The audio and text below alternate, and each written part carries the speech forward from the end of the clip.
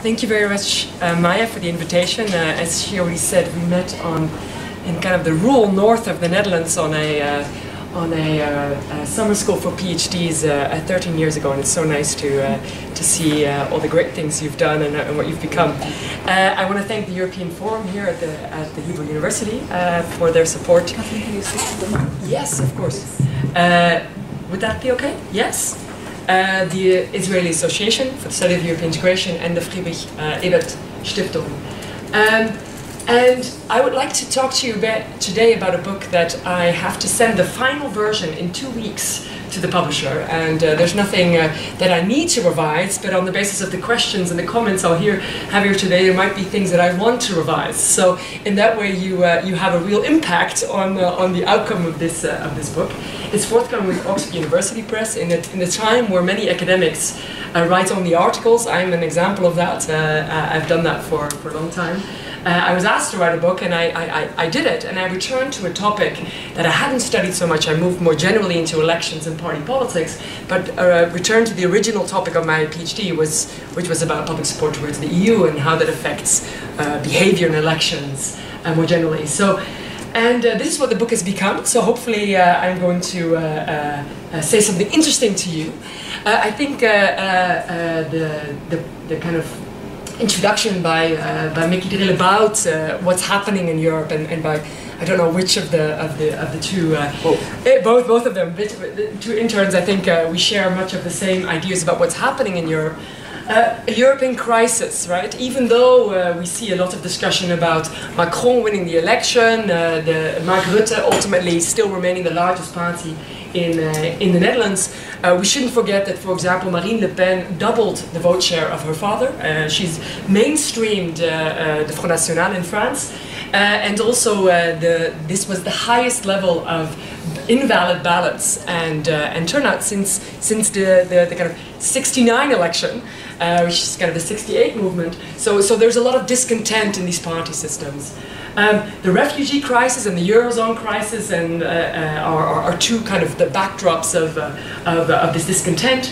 And, and I think the, the real issue of, of what Euroscepticism can do is, was seen by the, I mean, that's the image of, uh, of Nigel Farage, the, the, the, head of, or the former head, I have to say, of the UK Independence Party, uh, who had been able to, with, with help of the Conservative Party, to pull off uh, his dream, which was uh, to leave the EU and uh, just make it. We have to remember it was a short, uh, kind of close vote, uh, but, but, but win the so-called Brexit referendum. The idea that Europe is in crisis had not gone unnoticed even in the EU. Usually EU officials are not necessarily known for their critical remarks on the EU, but both Jean-Claude Juncker and Donald Tusk, those are the two um, uh, quotes I'm going to take, perhaps also because they were uh, prime ministers and presidents within their own, within some of the member states, have, uh, have put it to uh, uh, kind of quite uh, clearly. Let us, be on, let us be very honest in our diagnosis. Our European Union is at least in part in an existential crisis. Not sure how you can be partly in that crisis, but at least he, that was what he said in the State of Union in 2016. In the similar year, Donald Tusk Obsessed with the idea of instant and total integration, we have failed to notice that ordinary people, the citizens of Europe, do not share our Euro enthusiasm. Disillusioned with the great visions of the future, they demand that we cope with the present reality better than we've been doing until now. Together with uh, the Bertelsmann Foundation, or on behalf of the Bertelsmann Foundation, we conduct biannual uh, public opinion surveys uh, where we get a sense of what, what Europeans want from Europe. And, and the stark contrast is that people adhere to the idea of membership, except the British, uh, uh, adhere to the, to the idea of membership, but are very disillusioned with the policies coming out of the EU. And that's not just a phenomenon in the south of Europe, that's a phenomenon that you see in, in, in many, in many countries. So there is something going on and there's some change, and Maya reflected to it already by kind of coming with anecdotal evidence of her students' uh, numbers in terms of Eurosceptics. So there's been a lot of work to try to describe uh, um, uh, what are explanations of public support. And, and for a very long time, academics were not really interested in public support for the EU. It was described as a so-called permissive consensus, i.e. what happened in Europe was more or less in line with what was good for your country, and actually Europe was not part and partial of a debate at the, at the domestic level. I think actually it has not been part and partial of the debate since maybe 2005, where the, where the referenda uh, constitutional treaty referenda were not voted down in your usual suspects, Denmark and Ireland, but were voted down in core member states, the Netherlands and France. And from that onwards, and it, and it coincides with also the electoral success of, for example, Geert Wilders, a very prominent anti-Islam, anti-EU uh, uh, politician, political entrepreneur in the Netherlands, this idea of we may be moving away from a permissive consensus to a constraining consensus where public opinion is very divided or, or is increasingly Eurosceptic. That's what, what, what the media also tells us. I'm going to nuance that, a bit, that, that, that image a little bit but that public opinion has become important. It has become important because why did we pay so much attention to the Dutch election? I've been on, for the first time in my life, on BBC Newsnight, on Christiane Amanpour. I never had those things before. Why were people interested in a very, you know, in, a, in an election in a very small country? Because if Geert Wilders would enter the government coalition, that would have straight-on knock-on effects to what will happen in the European Council. I don't have to tell it to someone who is a, a member of, uh, I think you're a member of Syriza, right? Or who's close yeah, member of Syriza, what the way the EU deals with, with parties that are perhaps soft Eurosceptic or hard Eurosceptic. And the same was, of course, also for the interest in Le Pen. I think the real test case will be, and we can talk about that in, the, in the Q&A, the Italian election with uh, Beppe Grillo's Five Star Movement and the Lega Nord, who are very, very vocal anti-EU parties. and and especially Beppe Grillo looks, looks, looks doing extremely well in the polls.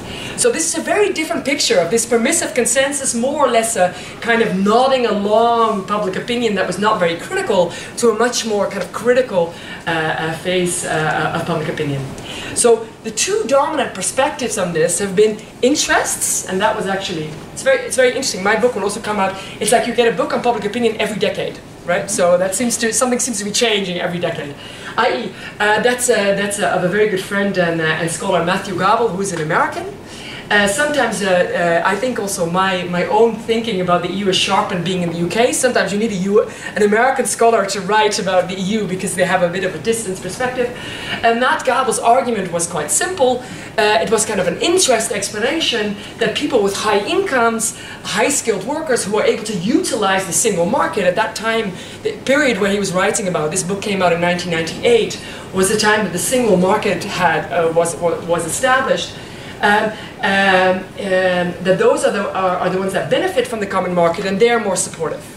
The same at the national level, that countries that do well economically will be supportive of the EU because they're able to, to, uh, to, uh, to uh, utilize uh, that common market. In the 2000s, that's uh, Lauren McLaren, who's a professor in, uh, in, in, Glasgow, developed the idea, well, maybe it's not just about market integration. She's also writing, ten, almost 10 years later, that the EU at that moment in time had also you know, developed in a more political union, and a union that, that according to Eurosceptics, infringes on sovereignty at the national level and does way more than just economics. And also, especially what she highlights is free movement of people, which led to intra-EU migration, which of course, you know, through the refugee crisis has gotten much more salience. This has been also developed further by Liesbet Hooghe and Gary Marks and others, uh, Theresa Kuhn on transactionalism, but the idea is that, well, European integration opens up your country to foreign influence, and that can be either politically or that can be because there's foreigners or, you know, people who don't you necessarily see uh, as part of your, of your demos or as part of your, of, of your, your kind of shared identity come into the country, and people who feel uneasy with this, and it's often those that feel exclusively national or strongly national, that they are then less supportive. And these two explanations have been dominant in also the explanations on the, on, on, on the Brexit outcome, right? That there was the losers of globalization, i.e. those that, that could not benefit from the single market, that turned against the EU, and people who had issues with immigration and national control. However, in the recent rise of Euroscepticism, we see it really only in the data in the last seven years or so. Um, um, it could be that people before didn't care enough about the EU to really honestly uh, uh, report in a survey, but nonetheless, let's, this is the surveys we have. We see a, a, rise of Euroscepticism and it creates some puzzles for both of these explanations. I'm not saying that there's not a correlation. I, I, I truly think that these two perspectives are very important, but maybe something else is going on as well. This is, for example, um, the EU opinion survey that, that I do together with the Bertelsmann Foundation. Um, and what we ask is the kind of hypothetical Brexit question. If there was a referendum held today in your country, what would you vote? we look at the EU 28 and we also look at the six largest member states. I just put for, because there's too many lines if we get the 28 on it, so I do the six largest member states. And interestingly, what we see is we see not necessarily that the losers of the Eurozone crisis are those that, are, that show the weakest support for membership. Spain is a country that has arguably uh, not as much as Greece, arguably, but, but has, uh, has been affected very strongly. Is very pro, uh, uh pro membership, that's that, uh, that grey line. The same uh, with Poland, that's doing relatively well, Germany, that's doing relatively well. But Italy, is actually the, the, the, country I'm most worried about. It's pretty much 50-50 uh, if you ask a membership referendum now. Uh, Beppe Grillo has said that he wants to have a membership referendum. Constitutionally, that's not allowed in Italy, but he might find a way around it if he gets, uh, if, if he gets elected. That, that country fits in a different category. So, so what's going on? It doesn't necessarily fit that interest explanation that if you are affected by the crisis negatively, you become, you become uh, negative. So the same is that, well, if Euroscepticism was linked to economic grievance solely, what we should see is that if we, we know that, that people who vote for hard Eurosceptic parties might do that for several reasons, but do that also for the anti-EU stance of these parties, and hard Euroscepticism is usually uh, defined by Taggart and uh, I can't pronounce his name properly, but anyway, uh, he's Polish, um, uh, uh, as parties who reject the entire idea of Europe, right? Those are exit parties, if you will. Soft Eurosceptic parties are parties that want to reform. The, the kind of clearest examples of that recently were Syriza and Podemos, who were not necessarily anti the European idea, but anti the execution of, of, the European idea. So if we take these hard Eurosceptic parties as an indicator of the level of Euroscepticism, we see something weird going on, where a long time it was the idea that if the countries are not doing well economically, you saw the largest share of Euroscepticism. You see the reverse. Right? so you see actually a lot of hard Eurosceptic parties in countries that have arguably really done well in the Eurozone crisis and have done well from the Euro, right? The Dutch uh, economy or the, the, the, German economy in terms of exports has benefited from the euro because they have a currency that is undervalued given their, uh, their financial position, whereas in the south that's, that's, that's the opposite story. So the country that you actually don't find here, for example, is Spain. It doesn't even have a hard Eurosceptic past, right? So in that way, it just also again brings up a puzzle for these existing theories. Then going more within countries, not just looking at aggregates, but looking more within countries, this is just a, a two, I'm, this is what I tell my students not to do, to cherry pick two examples, but I can tell you that these are representative of, uh, of, of, larger elements. So the dominant idea, and that's also been, been, been, been written in the, in the Financial Times and The Atlantic by Matthew Goodwin, a, a good colleague of mine, is that this was the left behind vote, right? It was about those manufactural workers, unemployed workers that voted against the EU. So the first uh, a result to come in was Sunderland. Sunderland is, is, uh, was very fast in, in, in, in, uh, counting the ballots, but also the margin of, uh, so it was 61 leave. That they were predicted to go out in the polls, but the margin was 10%, right? And this is over 20%. So at that time, I was with people at the Foreign Office, they got very worried. Like, okay, this is, so we're we've been underestimating leave in the polls, right? So this is, a, this is your average, average kind of example of, of, of, of, a, of an economic grievous environment. If we take the unemployment rate and the average house price as an indication of wealth and economic grievance, this is an 8% unemployment rate, where it's almost full employment in the UK right now. And also the average house price is relatively low. On the other side is Bournemouth. Bournemouth is uh, known for two things, pensioners and for its extremely high-tech industry, so it's called Silicon Beach. It has the highest growing high-tech firms in the UK. It is a, a country that, it is a, a, a, constituency that also voted out by, by half of that margin, but nonetheless voted out. And it has 1.2% uh, unemployment, and it had a double average house price. So this is not a poor environment. The same will go for that entire south of the UK, Dorset, Somerset, extremely wealthy areas, the south of Essex, which is also quite wealthy, a lot of commuters into London, they voted out Swindon. So not your usual like left behind uh, cases. And the last thing is, well then a lot of people say, well maybe this was all about immigration and about this identity concerns, right? And uh, Liesbet Hooghe and Gary Marks have developed this idea that those people who feel exclusively national, that those are more likely to kind of be Eurosceptic. Could that be an alternative explanation? So here I'm going to take a, a data from the Netherlands, And I have two time series here. This is the vote share of extreme right parties, which are the Eurosceptic parties in the Netherlands. Actually, I can make this look bigger because the Socialist Party in the Netherlands is also quite Eurosceptic. So this is an underestimation of Eurosceptics' uh, vote share in the Netherlands. And this is the share of people who feel exclusively national based on the Eurobarometer. So the, the argument is that people who are exclusively national are mobilized by these extreme parties against the EU. Well, actually, the share of exclusive people feeling exclusively national and the people who identify with Europe has increased in the Netherlands. But nonetheless, the Netherlands has been seen some of the fastest increases in Euroscepticism in recent years. So it's not necessarily that I'm not disputing that there's not correlations between national identity and na feeling national and, and, and, and being anti-EU or with economic grievances, but it's not the entire story. So that's what's uh, that's what I recommend. So one of these things have already been kind of outlined in, in, in a recent review paper in the Annual Review of Political Science with uh, Sara Hobolt. What are the kind of the assumptions or the observations that I make? Well, one that the crisis, so both the refugee crisis and the, and the Eurozone crisis, have uncovered structural imbalances in the Union which have made the experiences in the EU fundamentally different. I am married to a Spanish economist. This was our breakfast discussion. I'm Dutch, by origin. uh, people have a much larger stock of EU knowledge, but knowing it doesn't mean that you love it, right? Then the EU isn't popular, but national politics isn't popular either. So we have to look at this not just from the EU side, but also from the national politics side. And what is interesting, and that's what we saw in the kind of, you know, Bournemouth and, and Sunderland example, and I'm, I'm working on this more and more generally, it's not just the objective conditions, it's people's subjective perceptions of those conditions.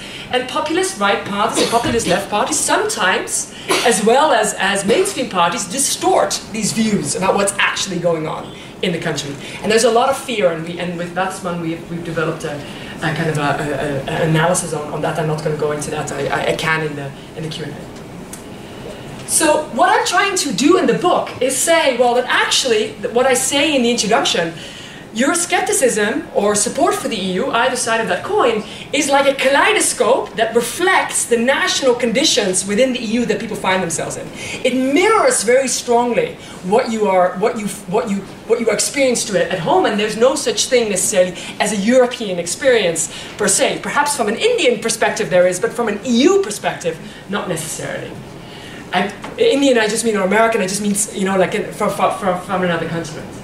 So the focus has been so much on the determinants, trying to understand what explains it, and that we don't really know what Euroscepticism actually is.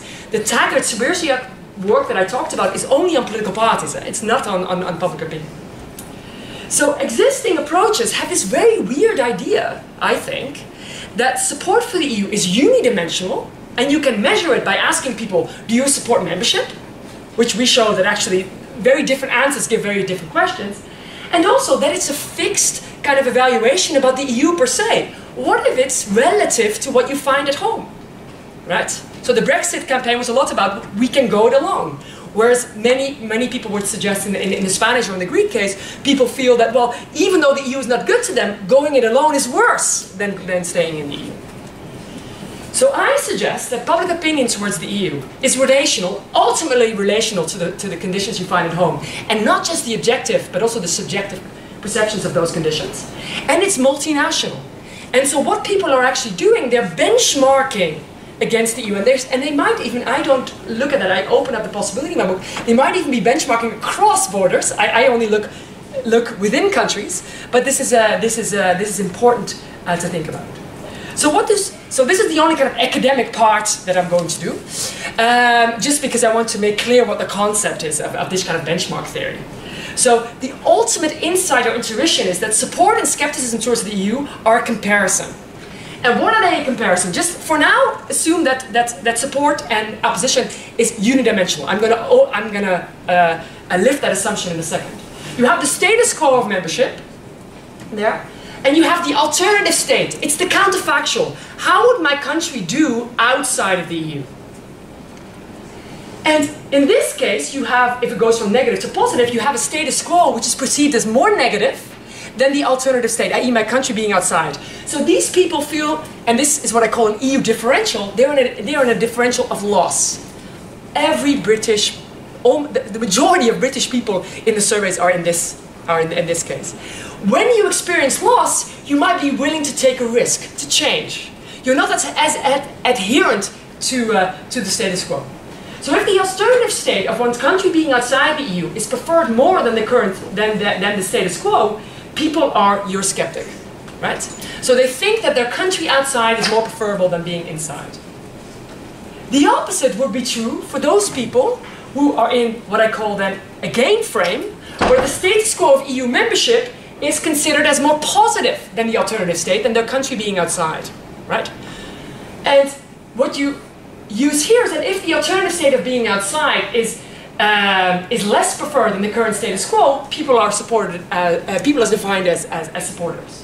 Interestingly, that what you do know is that what we know from behavioral economics, so these are just insights from behavioral economics, this is prospect theory for, um, from behavioral economics, that people, if the outcome is uncertain, the alternative state is uncertain, that they prefer the status quo, so if this, if this if the lines would be at the same point, they would prefer the status quo over the alternative state. So the equal sign is in support, right? So this should give a buffer for the EU, at least that you know people are more status quo biased, more status quo orientated. So, and then if we understand in this way, so it's relational on how people think their own country is doing, right? That which benefits do people consider? I, I, I looked at this in a kind of like one-dimensional way, so I, am not saying that people can, there's many fine-grained, by Claes de Vreese and others, very fine-grained 16 dimensions or 8 dimensions of support. I'm not so sure that people know so much about the EU to do that. But what people often distinguish about, and that's what, what, what kind of seminal work by Dahl, a very prominent political scientist, argued, that people are able to, do, to, to uh, distinguish between the outcomes they get today and the fairness of the regime in order to ensure that it gives them good outcomes in the future right? So the, the regime needs to operate properly, and the, uh, the policy is the outcome. So that's, that's the two distinction I make. So regime are evaluations on how the constitution in the country, in, in a country or the treaties in the, the acquis at uh, European level operate in practice, and how fair, how, how uh, uh, good are they. And the policies are evaluations of those collective decisions and actions and outcomes taken by, uh, by uh, national or EU actors. So if we put this together, I created this idea of an EU differential, those people who see the benefits of the status quo as higher or lower compared to the alternative state. And uh, we can do that on a policy differential and a regime differential. You, get, you can get a two by two and you can describe very, very different types of, uh, of public opinion. Note that these I call skeptics. You might also call them supporters. Depends on if you do the glasses half full or half empty, right? Because these are the mixed types. So these two types is what Taggart and so on would call soft Eurosceptics. I call them ambivalent Eurosceptics. So they like the regime of the EU more than their national regime, uh, but they, uh, but they uh, dislike the policies more, or the, or, or, the reverse, right? So policy skeptics are those that think that their country would do better in terms of policy than the EU, Regime skeptics are those that think that their country would do better in terms of regime than to policy. This is very dominant in the German debate, which is kind of the democratic deficit debate, right? So that the policies might actually be okay coming out of Europe, but the way they're derived, they're, that's not fair or that's not necessarily democratic. Exit, exit skeptics are those that hold differentials positive towards the, or negative towards the EU and positive towards the alternative state in both dimensions and what I will go on to show is that those are the ones that vote for hard Eurosceptic parties, who are more likely to vote, uh, to vote leave. Those are the ones you need to worry about now, and then the EU should worry about these two types moving in to the exit skeptics, right? Loyal support here, and that's very important, these are people who perceive the EU as, as, as the status quo as better than an alternative state, but it doesn't mean that people necessarily love the EU, right? This is quite the idea, well, okay, the EU might not necessarily be perfect, but it's better than what I have at home, right? So it doesn't mean that you're super supportive either, right? It can, it has, it has both these groups in it. The same goes for the regime and policy skeptics. They're skeptical, but it doesn't mean that they're extremely skeptical. So you're, you're, really arch skeptics are in this exit category. Um, so if you do these types, and I'm just giving you some, I'm just giving you some data, so here you find these, these, these different quadrants and you find the parties on average. It doesn't mean that there's a lot of variation within the countries, right? But here are your countries on, uh, on, on average in 2014. I'm just going to go, uh, for the sake of time, sorry, and more, a, a bit quicker. So what's interesting, what you find is that re this really reflects the conditions that people find at home. And I'm going to look at two conditions. So this is people who live in bad economic conditions and good economic conditions, and that's just basically, do you have economic growth or unemployment above or below the EU average, right? And what you see is that in good economic conditions, you see a much larger share of exit skeptics than you see in bad economic conditions. So this is this idea that it's not about the interest necessarily, it's about relative of what you have at home. So yes, you can, people can only afford to be exit skeptics when they think that their country will do well outside. And for loyal, it's the reverse relationship. And the same goes for quality of government. So this is based on corruption, for example, right? That's another area that I study. In high quality of government environments, you see much more exit Eurosceptics than in low quality of government environments. So what's interesting is that if you take these two together, I call them, do you have a viable exit option or not? So in terms of economics and in terms of quality in government, you know, uh, are you above the EU average or below the EU average? And what you see over time, this has changed between before the crisis, 2008, and after the crisis, that what happened in the countries that have a viable exit option, not so much happened in the no viable exit option. But in what happened in the, in the, in the countries with the, the, the viable exit option, who perform economically well and have high quality of government, a steady, a big increase in exit skepticism and, uh, uh, and a, a, big decrease in, uh, in loyal support. And what you see, even if you compare this in terms of these quadrants, you see almost two worlds developing. This is 2008. You see actually the black ones are the countries that are performing above the EU average. The gray ones are below the EU average. They were kind of still flocked together, right? And by 2014, that's no longer the case. So you see the, the, the, the highly performing environments are, are on this, either your regime skeptic or exit skeptics, where uh, the, the, the, the, lesser, relatively lesser performing environments are on the either policy skepticism but primarily loyal support. So this also puts in question a little bit this kind of two speeds Europe because you might be creating already, or you might be adding on to the two different worlds that are already out there. So why is this important, right? And then I'll, I'll, I'll close off and, and, and, and, uh, and hopefully that uh, in, in, in, enough time. So these different types, which are now very differently distributed in the, on average in the Union, give rise to very different policy priorities. I'm just going to tell you, you wouldn't be surprised. Exit skeptics care primarily about immigration, right? Uh, regime skeptics care primarily about quality of government. Policy skeptics care primarily about growth and, and, and the economy. But they also give very different reform preference. What do exit skeptics want? They want to go out or they want total renationalization of the EU, right? So they want an intergovernmental organization. Uh, so this is important for the EU because one size fits all is not going to work on this, right? And this I'm not even talking about, and the entire book shows also how much variation there is within countries, right?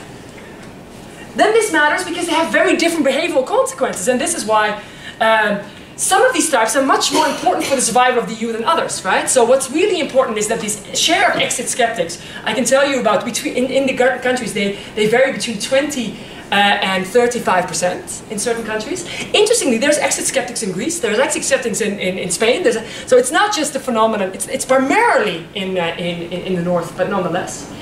And what's really important is these ambivalent skeptics that could go either way, right? How are they going to be swayed in the future? So uh, these are just uh, to show you what they do. So what you see here is that the exit Eurosceptics, they have a 66% to vote Remain. They still vote in Remain, right? That's, but they have a 34% uh, support for the uh, Eurosceptic party, and especially of a hard right variety. So Geert Wilders, Marine Le Pen, uh, those type of characters. So the loyal supporters, 85% remain, so much more starkly remain. And if they support a Eurosceptic party, it's usually of the soft left, but probably for different reasons, what I show, more for their economic stances than for their EU stances. So now I'm going to round off. So people weigh up their national and European evaluations, and then the, the level of EU supporter skepticism varies by and within countries. And it has also changed as the EU has changed and has dealt with the refugee uh, or, or the Eurozone crisis in, in particular ways. And I outline that much more in the book. And the increase in EU support might not just be, or, or skepticism might not just be because of the EU, but might also be because of something that happens nationally. Give you an example, 1975, uh, uh, when we had the first referendum in, in Britain, Britain was the sick man of Europe, in 2016, when, uh, uh, when there was a referendum, the, uh, the UK was doing really well, right? So these contexts nationally matter. Then should we worry? I think yes. Uh, some of the people in the commission I've talked to uh, uh, uh don't agree, but I, I, think we should worry. Even if exit skeptics are not the majority position, if we define ambivalent skeptics also as skeptics, right? I said we can look at it in both ways, but if we define them as skeptics, the majority of people are skeptical today. And what, and what is important is as the EU is not finding sometimes you know, solutions to certain problems that people care about because the union is so diverse. So what works for Greece might not work for, for the Netherlands or might work for Spain, might not work for Germany. That there could be a serious risk that these people uh, move to the more kind of uh, uh, um, uh exit skeptic uh, uh, category. And why is it important? Because exit skepticism is associated with this hard party support, these, these kind of exit parties, and with a, with a higher likelihood uh, to want to vote Remain. In the book, I also go out, you know, I, I try to come up with like institutional solutions for this. That's probably too much to do uh, here today, but I'm also more than willing to think a little bit about, along those lines with you about. Uh, but uh, but any any comments, suggestions, or, or questions about the book are, are very welcome. Thank you for your attention.